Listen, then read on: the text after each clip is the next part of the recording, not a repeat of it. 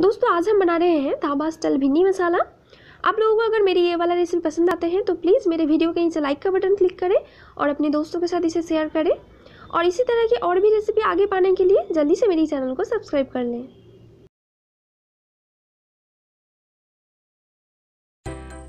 भिंडी मसाला बनाने के लिए हमने यहाँ पे कुछ भिंडियाँ ली हैं, जिन्हें हमने पानी से अच्छी तरह से धो के साफ़ कर लिए हैं। अभी इसे हम पंखे के नीचे अच्छी तरह से सुखा लेंगे। और इसी बीच हम तैयार कर लेंगे मसाले बनाने के लिए हमें जो जो चाहिए। उसके लिए हमने यहाँ पे प्याज काट रहे हैं और प्याज को हमें ज़्यादा बारीकी से नहीं काटना है। हम थोड़े मोटे मोटे पीसेस करेंगे।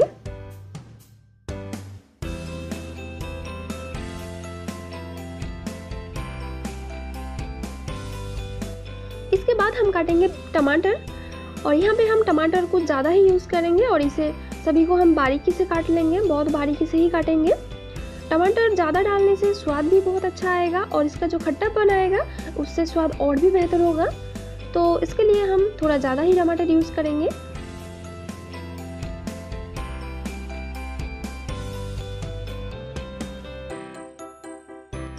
दो हरी मिर्च को हम बीच में से ऐसे थोड़े से कट कर लेंगे।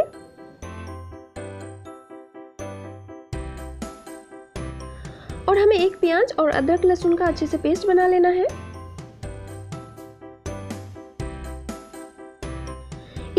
भिंडी का पानी अच्छे से ड्राई हो चुका है तो अभी हम इसे काट कर लेंगे।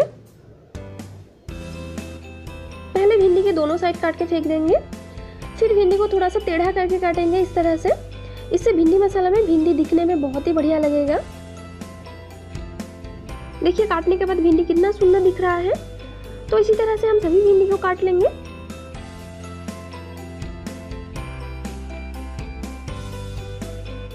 तो इसी तरह से हमने सभी भिंडी को काट के तैयार कर लिए हैं। अभी हमें भिंडी को फ्राई करना है तो उसके लिए हम गैस ऑन करके कढ़ाई में तेल डाले हैं। तेल थोड़ा ज़्यादा डालना है क्योंकि भिंडी को स्टार फ्राई करना है। तेल गर्म होने पर अच्छे से भिंडी डाल देंगे और गैस का फ्लेम हाई रख के हम भिंडी को फ्राई कर लेंगे।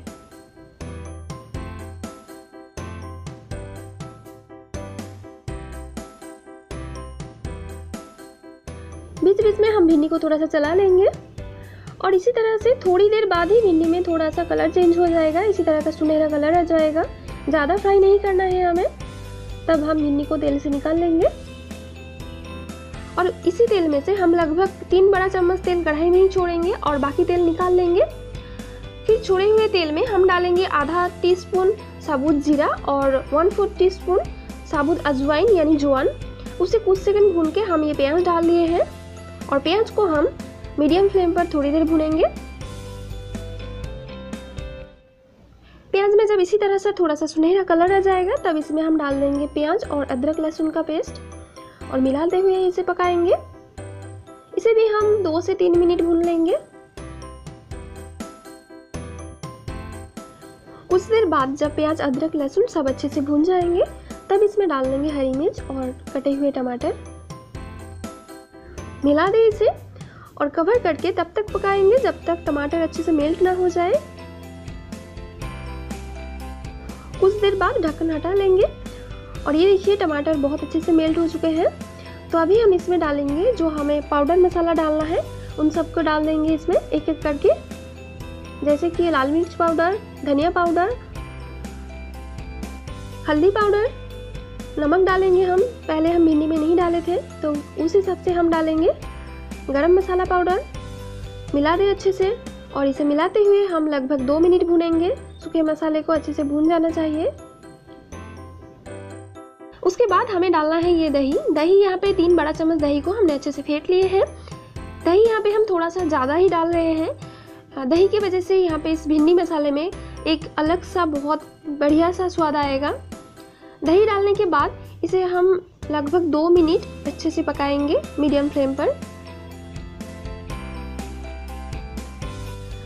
थोड़ी ही देर बाद जब दही अच्छे से पक जाएगा, तब हम इसमें डालेंगे थोड़ा सा पानी। अभी हमें इसमें पानी डाल के सभी मसाले को बहुत ही अच्छे से पकाना है। जब रेसिपी हो कुछ मसाला टाइप का तो उसे बहुत ध्यान से थोड़ा सा टाइम लगा के पकाना पड़ेगा। उससे ही टेस्ट अच्छा आएगा। तो उसके लिए हम लो मीडियम फ्लेम पर इसे कवर करके लगभग पाँच से सात मिनट तक पकाएँगे। कुछ मिनट पकाने के बाद हम ढक्कन खोलेंगे।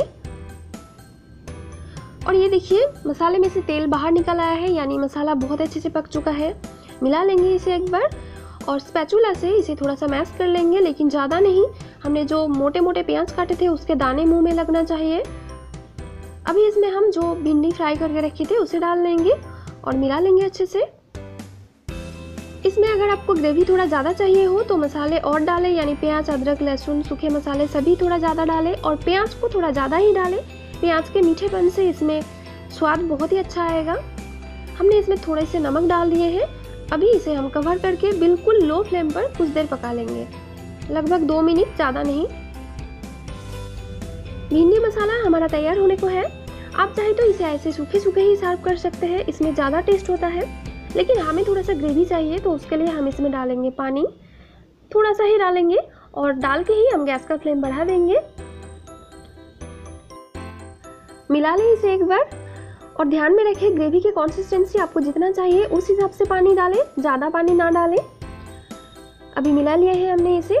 इसे कवर करके दो मिनट हम पकाएँगे लो मीडियम फ्लेम पर। क्योंकि हमारा भिंडी मसाला तो पहले से ही तैयार है। जस्ट ग्रेवी बनाने के लिए हम इसे दो मिनट पकाएँगे। दो मिनट बाद हमारा भिंडी मसाला पूरी तरह से बन के तैयार है। प्याज के मीठेपन और दही, टमाटर के खट्टेपन की वजह से ये बहुत ही चटपटा बन के तैयार हुआ है। थोड़ा सा खट्टापन और चाहिए हो तो इसके साथ मिला दे चुटकी भर अमचूर पाउडर। फिर इसे गर्मा गर्म सर्व करें रोटी चपाटी या फिर पराठे के साथ। तो दोस्तों, मेरी ये भिंडी मसाले की रेसिपी आप लोगों को कैसा लगा कमेंट बॉक्स पे मेरे साथ ज़रूर शेयर करें। अच्छे लगे तो लाइक करें, ज़्यादा से ज़्यादा शेयर करें और मेरे चैनल को सब्सक्राइब करना ना भूलें।